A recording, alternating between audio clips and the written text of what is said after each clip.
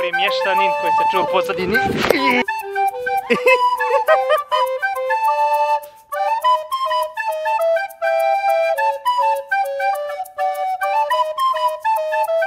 Ćao ekipa i dobrodošli u naš novi video. Ako se pitate zašto Zaga ne priča danas, i ja sam se pitao zašto ne priča već 5 minuta, ona se šminka i to pored cijele svoje sobe sa šminkom, šminka se u hodniku. Izvlačim liner, molim te, ne pričaj ništa. Pogodite šta je od ovih svih stvari moje, a šta Zagino. Naravno, ova desna strana je Zagina, a ja sam od svega spakovao sebi samo ovu kesu slatkiša. Uglavnom, danas smo uzeli slobodan dan kako bi proveli dan u prirodi i uživali vani, pošto je danas jedan od najljepših dana u zadnjem mjesecu, jer je jako sunčano i čim se Zaga spremi i čim ja napravim frizuru, pošto pogledajte ovo ptičje gnjezdo na mojoj glavi, krećemo na putovanje iznenađenja, a vi već sad možete pogađati gdje Zaga ja idemo. Ćao ekipa, izvukla sam liner. I progovorila je. Jej, neću ni prestati.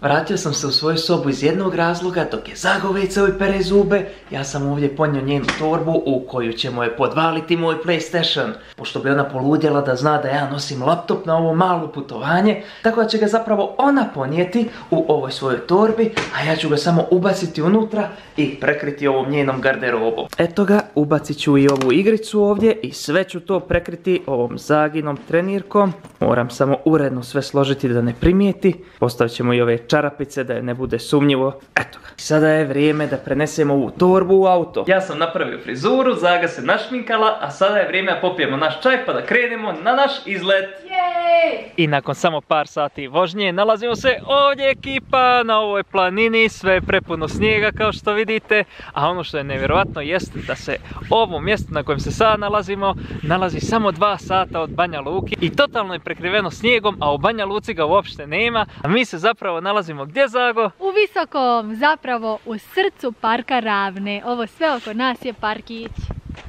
I sad ćemo krenuti u lagani obilazak da vidimo šta sve ovdje ima. Jer prvi put smo ovdje kad je snijeg, bili smo kad je bilo toplo i ja imam full zimsku opremu, a Filip je u patikama koji se toliko kližu. Da, kao što vidite. I Zaga je odmah našla svog novog prijatelja. Hoćeš nas odvesti u razgledanje? Idemo. I hoće, evo, našli smo vodiča. I naš vodič nam pokazuje na koji način se trebamo spustiti ovuda. I da vidimo da li je moj brat shvatio kako da siđe. Pa bježi od mene. I kako moj brat ne bi postao totalni luzer, naš vodič se pravi da je i on pao. Za početak obićemo ove kamene blokove da vidimo šta sve tu ima. A ovoj krtici je verovatno mnogo dosadno. Pogledajte koliko je puta prokopala put do površine. Iako smo u parkiću, ovo nije obični parkić, nego parkić za sve nas koji volimo prirodu. Tako da ovdje nema buke, galame, bespotrebne roštiljanja i naravno nema alkohola. Znači ovo je jedan zdravi park za sve koji stvarno vole prirodu. Ovdje imamo 24 megalita sa raznim simbolima na sebi. I sad ćemo izabrati simbol koji nas najviše privlači i onda ćemo pročitati ovdje na ovoj tabli šta taj simbol znači i predstavlja. Da, da vidimo, hoćeš ti prva birati? Naravno. E, Zago, ona je već otišla da izabere svoj simbol. Idemo ekipa da vidimo koji će simbol Zaga da izabere. Čisto da vidite kako ti simboli izgledaju. Svaki megalit ima svoj. Ima ih jako zanimljivih oblika. A da vidimo šta je Zaga izabrala. I Zaga se zalijepila za ovaj megalit. Zato što je topalj, tako se grijem. Pogledaj, Da vidimo koji je Zagin simbol. moj simbol je To je srce u krugu, jel? a podsjeća me i na leptira. Pošto volim i leptira i srce, još ima ovaj slatki okvir okolo, to je moj simbol. Hoćeš ti sad da biraš svoj? Može. Super je kad vas privuče prvi simbol da odmah pročitate baš za njega jer što više gledate onda vas svi privlače jer su svi prelijepi, svaki predstavlja nešto svoje. A evo koliko vidim Filip je izabrao pa tvoj ima glitere Filipe nisi fair. E, kako ovaj tako sija? Ne znam. Ne, ne znam šta predstavlja, ali mi je jako zanimljiv, nekako me privukao. tvoj simbol je mokar. Izgleda kao da ima glitere da vidimo na šta vas podsjeća ekipa mene na neku životinjicu a ovo gore na dva oka Da. Osmica, zapamti dobro jer kad dođeš tamo zbunit ćeš se koliko ih ima. I Zaga je našla svoj znak na ovoj magičnoj tabli. Ovo je njen, da vidimo šta znači njen znak. Reci nam Zago. Kozmogram posvećen piramidi ljubavi. Yes, yes! Yes, ljubav, srce, leptir, sve što volim. Upravo smo našli moj simbol. I evo ga, kozmogram posvećen labirintu ravne. Wow, tamo gdje idemo sad. Da, vidiš kako sam Kako pretpostavio si- dobro. A predstavlja zemaljsku kreaciju u stalnom kretanju, znači stalno kretanje energije, baš nešto što je zapravo Filip koji ne spava i kreće se i danju i noću. Definitivno tvoj simbol. Definitivno. A ovi megaliti su dobri za još jednu stvar, a to je sakrivanje od Zage. Pogledajte, rekao sam joj da idemo tamo i sad sam se sakrio od nje ekipa. Vidjet ćemo koliko će vremena trebati da me naće. E, čekaj me Zago! A ovdje imamo i put sreće. Naš vodič ga je vjerovatno već otkrio, pogledajte njegove tragove, moramo ga naći na ovom putu sreće. A evo je Zaga je nešto našla. Sve ima neku simboliku, vidiš da ima neka simbolika i na tome. To su- neke tablice. Ne, minđuše na drvetu. Ovo su neki jako zanimljivi simboli i pogledajte kako ih vjetar okreće. A pored svog ovog snijega, stolića i klupica za odmor, nalazi se ovaj mali potočić i mostić preko kojeg će Zaga sada, zapravo na kojem će Zaga napraviti vježbe. Znaš šta sam trag našeg vodiča, vidi? E, idemo naći vodiča. Da, ovo je definitivno trag našeg vodiča, moramo ga naći. I Zaga se popela na vrh brda i našla je svoju teretanu za vjeverice. Ajde jedan challenge za Zagu da vidimo da li može da stoji na jednoj nozi na ovoj klizavoj klupici. Ja sam flamingos. I može, bravo Zago.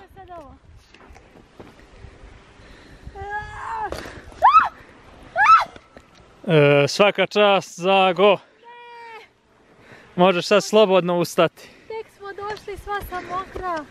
I još nisam vidio da se flamingosi kupaju u snijegu. I sad ćemo se spustiti do onog zaleđenog malog jezera. A pogledajte kuda sve protiče ta voda kroz ovaj mali potočić u ovo zaleđeno jezero. Da vidimo da li će Zaga uspjeti naći zlatnu ribicu u ovom zaleđenom jezeru. Za sada joj ne ide baš najbolje. Nismo našli našeg vodiča, ali smo otkrili gdje vodi put sreće. Vodi u ovaj parkić ekipa. Krećemo odmah sa osvajanjem ove tvrđave. I Zaga Vjeverica će odmah zauzeti svoju startnu poziciju da vidimo da li će se uspjeti spustiti niz ovaj tobogan. I sada ćemo se svi zajedno smijati ovom Zaginom zaglavljivanju. U svakom vlogu zaglavim, a sad neću.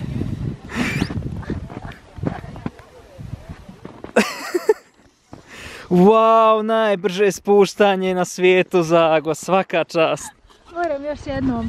I Zaga je pripremila drugu taktiku za svoje brže spuštanje, da vidimo da li će sada uspjeti. Mhm, sada hoće da se spusti na stomaku i... I... pa prešla je 2 na sat. Prešla si 2 km sat, bravo Zago, svaka čast, odlično. Da vidimo kako će sići. E, ovo je najsporije spuštanje i još sporije silaženje sa tobogana ikada ekipa. Ali Zaga je upravo našla nešto u čemu je definitivno brža i bolja. Filip se meni smijao kao on će se bolje spustiti, uopšte ne konta da su mu kukovi širi od ovog prolaza koji je namijenjen djeci. Jeste vidjeli koliko sam brz? Bravo, bravo. Dobro, jesam se polomio, ali sam zato brži od Zagi. Sad se ja opet spustim. Odi me sad kući, Zago. A sada da se zahvalimo čovjeku koji je omogućio da se takmičimo u brzom spuštanju. Donor ovog parkića je dr. Solak. Thank you very much, sir. Ovo je još jedan lijep primjer humanosti. Čovjek iz Kuvajta je donirao ovaj prilijepi parkić nama u Bosni i došli smo do ulaza u piramidu mjeseca, Zaga je upravo našla novog prijatelja. Ovo je neki dalmatinac, samo crni sa bijelim tačkicama. Obukao je svoju garderobu naopako očigledno. Sada je vrijeme skrenuo penjati skroz gore na vrh. I Zaga se zapetljala o psa. Ajde Zago, brzo! I promašili smo put, naš novi vodič nije bio u pravu, sad moramo skroz dole da silazimo sa ovog brda, jer se ovdje uopšte ne ide. Na vrh piramide. Dobri mještanin koji se čuo u pozadini. I- Da će ovo biti odjava ovog videa kraj, ali moram ustati kako bi se nastavili dalje penjati na vrh piramide u pravom pravcu. Da li se ikad niko u istoriji snimanja razbio s kamerom u ruci? Kako je? Vidjeti gore i pa vidite sve i ovaj tamo. E, dobro, hvala. Ako se pitate kako sam, u redu sam i nastavljamo dalje. Čisto da vam pokažem kakva se greška desila, mi smo krenuli da se penjemo na ono brdo, a zapravo se na piramidu treba popeti skroz ovamo na drugu stranu. Ne znam da li vidite gdje je Zaga ostala, kilometar iza mene, sunce je toliko jako da ne vidim ništa, a pogledajte koliko je lijepo nebo ovdje. Ono što je jako zanimljivo jest ovaj vazduh koji je toliko čist da prosto preselio bi se ovdje samo da udišem ovaj vazduh. U gradu je totalno drugačije i mi koji živimo u gradu apsolutno nemamo ovako svjež vazduh. Evo što se sada dešava, mi smo se trebali popeti skroz gore, ali pošto se mom bratu toliko kližu patike jer je obukao neke totalno klizave, on je pao već deset puta, smio se meni kad sam samo jednom pao, mi ćemo se morati vratiti skroz nazad. A da vam bude jasno o čemu sam pričao, sada ćemo snimiti mog brata u pokušaju da se popne ovamo i za malo i zamalo, i eto, i treći pad. Ajmo, ja sam motivator. Idemo! ajde još malo, idemo, idemo! Ali sad ćete vidjeti najteži dio staze. Ovdje sam se jedva i ja popeo. Pogledajte šta sam napravio kao divlji vepar da je prošao u dane ja. I pokušat će putem našeg vodiča da vidimo. Pogledajte kako ga njegov učitelj posmatra. Učitelj i učenik se ponovo sreću na vrhu planine i da li će se pozdraviti. To je taj svečani trenutak. A sad se možemo vratiti skroz nazad, mislim da je naš učitelj zadovoljan. A eno iz Zage, vidite li ovu crvenu tačkicu? Popela se na sam vrh i zauzela nečiju kućicu, a ja sada idem da joj se pridružim. Ekipa pola sata čekam ko će prije doći do mene. Filip se trkao sa psom tako da sad izdiše gore negdje. Filipe, hoćeš se javiti? I opet je on pobjedio. Zato što on ima četiri noge, a ja trčim samo na dvije. Ali Filip je bio i na rukama i na nogama, pošto je ovdje toliko blatnjavo i klizavo. Jedva smo se popeli, ali eto, kako kažu, na vrhu uvijek ima mjesta i svi su dobrodošli. Pogledajte ekipa šta je Filip sve progazio na putu do vrha. Ovo su posljedice. O, izgleda kao govance Filipe. Vjerojatno od našeg učitelja. Uglavnom ekipa, tako je kako je, blatnjavo je, ali ništa nas nije spriječilo da vidimo ovaj prelijepi ambijent. Vjerujem da je ljeti još ljepše, ja sam se već uselila, vidite tu je moja jakna, moja torbica. Ovo me podsjeća na neku učionicu u prirodi. Pogledajte sve ove klupice, stoliće, vjerujem da ovdje bude neka školica ljeti. Sigurno ćemo posjetiti ovo mjesto i ljeti. Naravno fotografi slikaju, bilježe sve to kamerama, a ja sam našla kako se zove ovo mjesto, zove se Debela hladovina kod Dževde. Ja sam mislila da je ovo neka školica, mislim možda i jeste neka školica u Debeloj hladovini. A pogledajte kako slatku ogradicu sam našla ovdje od pruća. Mislim da ovo jako lako napraviti, baš je kreativno. A ovi stolići su zapravo od kamenja. Pogledajte jedan veliki kamen koji se stavi na ova dva, tri, četiri drvca i drže ovaj kamen i evo malog slatkog stolića. Da vidimo ekipa šta još ovdje ima. Ono što obožavam da vidim u prirodi jeste kanta za smeće.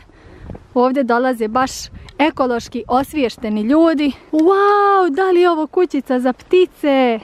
Dobro, ne znam da li je ovo kućica za ptice, ali provjerit ću. Joj, pa ovdje se može praviti kafa ekipa. Pogledajte, džezvica, šerpica, sol, šibica. Ovo je zapravo mala kuhinjica za ljude, a ne za ptice. A pogledajte ovu kamuflažu ako se pitate šta je ovo, to je naš učitelj koji se sakrio ovu kućicu. Učitelju imali mjesta i za nas. Nema maknje se sođiju! Da vidimo ovaj salto preko psa. Pogledajte koga smo našli ovdje sakrivenog, to je mali je Žurko. Žao mi je što ga sada ne možemo prevrnuti da mu vidite glavicu, ali on očigledno ovdje spava. Ovdje se ušuškao, prosto je čudo da smo ga vidjeli u ovolikom snijegu. Sad ćemo ježurka dodatno ušuškati, Filip će mu napraviti krevet. Ako znate da li ježevi spavaju zimi, pišite nam. Sada ćemo mu napraviti snježni prekrivač kako ga životinjice ne bi našli, kako ne bi ometale njegov san. Eto kako je protekao jedan naš dan u prirodi, pisali ste nam posjetite prirodu i bit ćete najzdraviji na svijetu. I eto poslušali smo vas i vi obavezno ako imate priliku, a sigurno imate u blizini neku šumicu, obavezno je posjetite. Družili smo se sa ježićima, sa našim psima vodičima, obišli smo razne parkiće, pali smo hiljadu puta, meni su noge skroz mokre, ali smo se jako lijepo proveli, nadam se da vam se svidjela naša nova avantura, ako vam se svidio ovaj video, lajkujte ga, subscribeite se na naš YouTube kanal, kliknite zvonce za za notifikacije, a mi se vidimo neko od sljedećih videa. Ćao ekipa!